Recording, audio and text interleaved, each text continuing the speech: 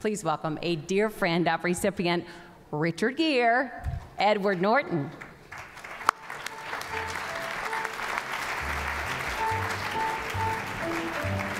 Good evening. Um, I actually just got a real email from Seth Rogen. Uh, he's been at home for a half an hour and he's in his underwear and already high and laughing at all of us.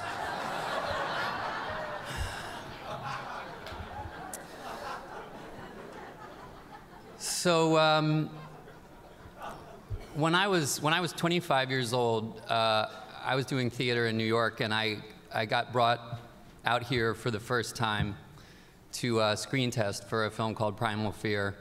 Um, and I was so, uh, I was so convinced that, that I wouldn't, wouldn't get it that uh, I was adding up the $75 a day per diem and figuring if I could stretch the stay in Hollywood to four or five days, I could maybe um, cover half my month's rent or something like that. Um, I was, I was nervous, uh, as one is when presented with that kind of an opportunity. And I decided uh, to go and watch some of the films of the star of, the, of this film I was going to audition for, Richard Gere.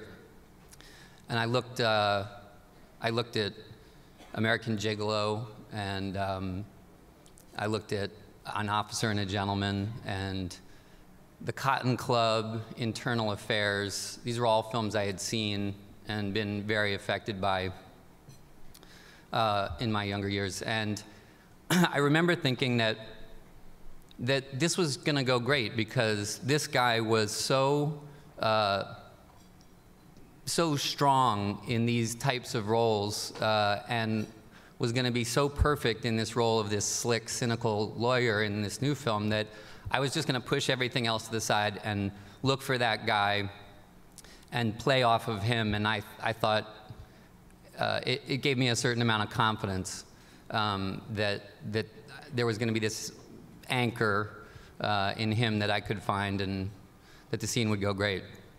So I got to stage five uh, at Paramount, and they had it all set up. And I sat there, I, I kept waiting for that guy to emerge. And um, I looked over, and, and he wasn't anywhere around. And by the camera, instead, they had this guy with kind of long, uh, unwashed hair in a tattered t-shirt with a bunch of prayer beads around his hand and torn jeans. Uh, and I thought, shit, they have pulled some out-of-work hippie out of Topanga Canyon and brought him in to read this scene with me because Gere's not gonna do this with some unknown kid from New York. And I thought, I'm screwed. Uh, and then he looked up and I realized that it was Richard, um, just back from Dharamsala or wherever he'd been traipsing around. And he kind of gave me this look and he said, Hi, I'm Richard. This is going to go great. Uh, if there's anything you need, if there's anything you want uh, from me, you know, just, just tell me. And I, I, I was so uh, struck by that. And I kind of focused in, and we did the thing, and uh, and I was lucky enough to get that job. And I tell that story because um, I, I, think there are, I think there are a few things that don't get said enough about Richard. The first is that what's emblematic about that story to me is that, is that Richard has always been uh, a character actor in the skin of a leading man. He's always been, you know, he's a bohemian, he's a singer, he's a, a musician, he's a humanitarian, he's a soft spoken, gentle, very caring guy who has become iconic for playing almost exactly the opposite. Um, and as a result, people underestimate the level of transformation that he's delivering in creating characters like uh, Martin Vail in Primal Fear. It's so far from who he actually is, and it's incredible uh, what he does to uh, put on uh, that character. The second is, is that he is an unfailingly generous uh, collaborator who, in film after film, makes his co-stars shine and look good. Think about, apart from uh, how good he made me look in Primal Fear, the way that Diane Lane comes off in Unfaithful, the way that Julia Roberts comes off in Pretty Woman. He is always uh, the anchor of a film making uh, co-stars shine. And, and that's not just the way the scripts are written, it's, it's the humility uh, with which Richard approaches roles, uh, the understatement with which he grounds them, and the generosity with which he, he acts with other actors.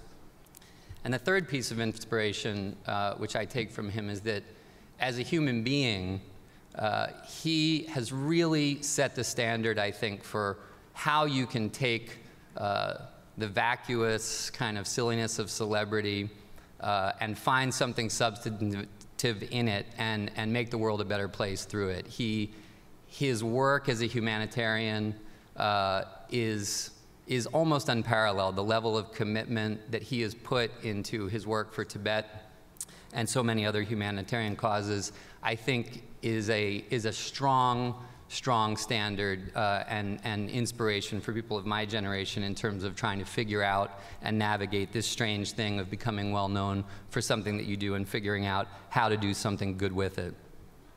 So I think for all of those reasons, uh, it's very, very fitting to celebrate the incredible career of Richard Gere, spanning literally classic films uh, like Days of Heaven, all the way through to this fantastic performance in Arbitrage uh, that he gives this year, and which I watched last night, and is just absolutely brilliant. So uh, it's a great pleasure for me uh, to stand in for so many other actors who have had the pleasure of working with him, who have been supported by him uh, and um, encouraged by him. And uh, it's an incredible pleasure uh, to say thank you to Richard for the support he's given me personally and so many others, and to present uh, this Lifetime Achievement Award uh, from the LA Times, Eddy Hartenstein.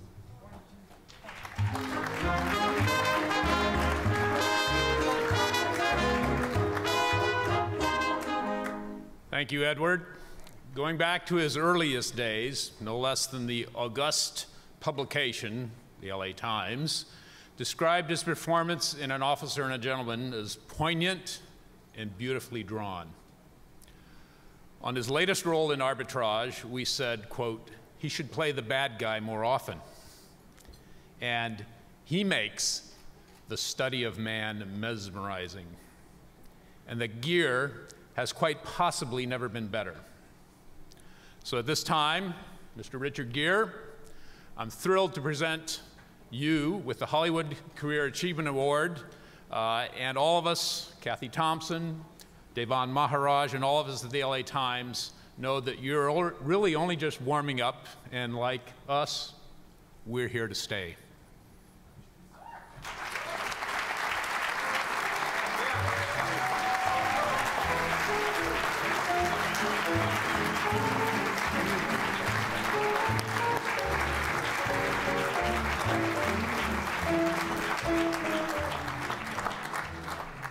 It's kind of embarrassing uh, hearing all that stuff. Edward, I got to talk about Edward a little bit too, because when he came out to do that audition, I was actually leaving the production because we didn't have an actor who could play that part. And we couldn't find anyone in all of New York or Hollywood that was known, unknown, who could play believable as innocent. Actors can be crazy, but to be innocent is really difficult. And I was on my way out, and we got a call from, from Deborah, Deborah Aquila. She said, wait, wait, wait, wait, I found this, this guy. He just had walked in an open audition. And as he said, he came out to, to do a, uh, a full screen test. With, I mean, a full screen test. I mean, several scenes and full out, all the, the makeup and, uh, and, and angles. We did the whole thing. It was so amazing. We looked at it and said, it must be some kind of a fluke. We better do it again. And we did it again. It was about two days later. It was equally good, and we said, this guy's a genius. And uh, so I feel very proud that I was in the beginning of your extraordinary career, my friend. Um, it's funny, you know, they, I started getting these, these kind of Lifetime Achievement Awards a few years ago, and it, it's to see, I'm not, I'm not aware of time very much. You should ask my wife about that. I don't know, I don't understand time very well, but when you see all the work one does, you said, well, you've been around a while. I don't think I'm old enough to get these kind of awards yet, at least I hope I'm not. Um, but I appreciate it. I appreciate, I want to thank Carlos the Jackal, yet again for, um, for this award. And um, uh, all the actors here know there's, careers are not made by one person. I mean, I was trying to count in, in an award ceremony in Rome last year. I was trying to count the number of people that I've worked with on movies. So there's maybe three or four hundred people on a movie. I've done maybe 50 movies, so what is that? A couple hundred thousand people? Someone can tell me. That's a lot of people that was involved in you know these clips and things that you see here. And the awards don't belong to one person. Nobody does this on their own. In life, nobody does anything on their own. So whatever these awards are, they go to everyone I've ever worked with. But there's one person that probably deserves this more than anyone else. And there was a there was an award that I was given in New York at the um, oh, what's it called? The uh, Museum of the Moving Image. About uh, six or seven years ago, I think it was. And I, I, I mentioned this person then, and he was there. And I've kicked myself ever since that I didn't speak more about him. And it's my dear friend and agent, Ed Limato.